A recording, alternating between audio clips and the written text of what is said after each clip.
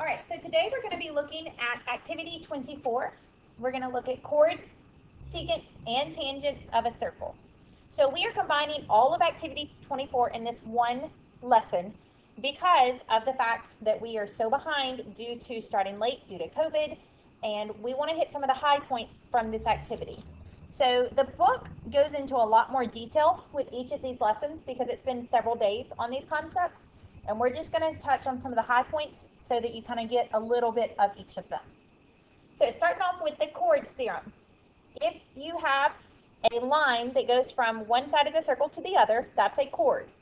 It can go through the center, but it doesn't have to. So a diameter is a chord, but it doesn't have to be a diameter to be considered a chord. We looked at that back at the beginning of the year, what a chord is defined to be. So if you have two chords that intersect in a circle, the product of the lengths of the segments of one chord is going to equal the product of the segments of the other. So, what that's saying, take one of your chords. So here is one of my chords. Each part is A and B. And so we're going to multiply A times B. And that is going to equal the parts of the other chord, which are C and D. So one chord, the parts of it multiplied together equal the parts of the other chord. The reason, I'm going to briefly explain it. Your book actually does a formal proof. If you create triangles here, these triangles are similar. These angles are congruent, these angles are congruent, and then these angles are also congruent. So angle-angle similarity is what tells you that you have similar triangles. And so this side and this side are proportional, C over B to A over D. And then if you cross multiply, you have the AB and CD. So that's where it comes from. If you're more interested in that, you can look in your book and it goes through the proof there. So let's look at this one. First off, pick a chord. So I'm going to start with this chord. The parts of that chord are the 21 and the x. So 21 times x. Then the other chord has parts 15 and 14. So we're going to say 15 times 14. So 21 times x is just 21x. 15 times 14 is 210. And so then if you divide by 21, x is 10. Looking at the next one, one chord and the other chord. So we have 12 times x equals 8 times 9.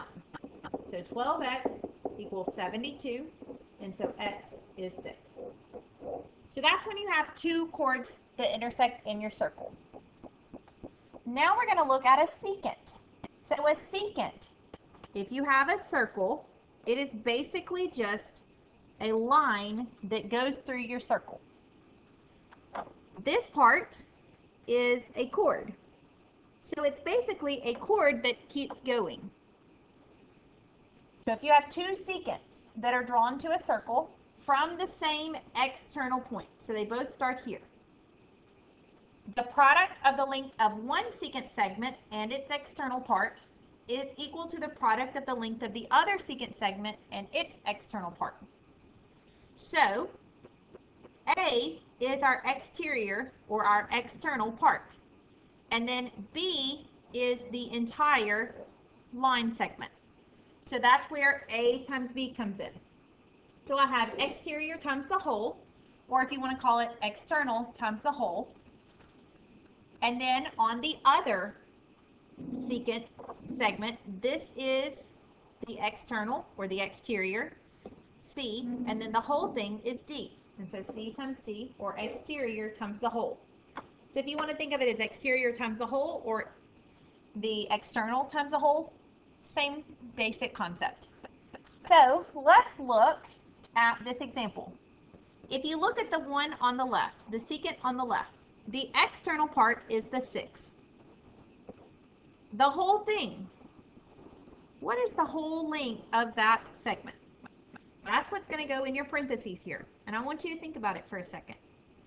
See if you can figure out what it is. I'm going to come back to it. If you look at the other secant, the external part is 7, And the whole thing, this whole thing, 7, and then what do we do with the 11? We add them together. And if you want to go ahead and write that that is 18, you can. So coming back to what goes in this parentheses over here, 6 and x, we're going to say 6 plus x. You're going to add them together. You're not going to multiply. So then we have 6 times 6 plus x equals 7 times 18. The external part times the whole thing. The exterior part times the whole thing. So distribute. 6 times 6 is 36. 6 times x is 6x. And then that's going to equal 126. So then you subtract your 36. So 6x equals 90 and divide by 6 to get that x is 15. Now let's look at the other example. See if you can set up the equation. So pause the video for a second and see what you get.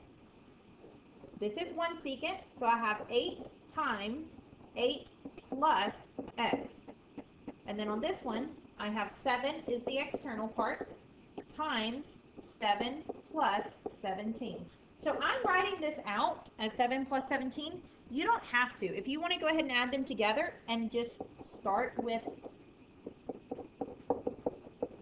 this equation, you can.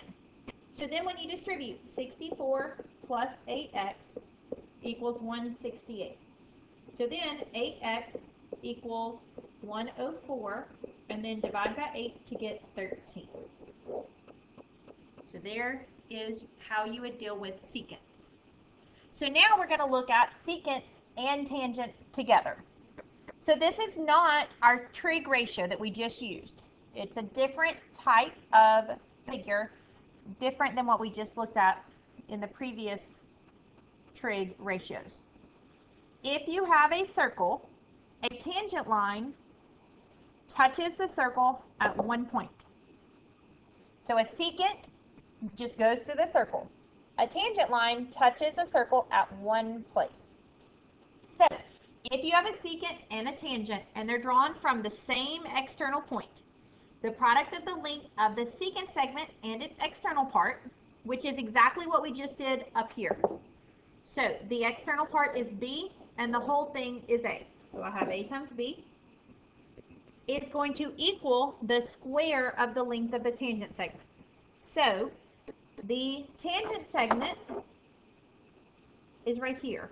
So that length is C. And so that's why we have C squared. If you look, it is still basically exterior times whole.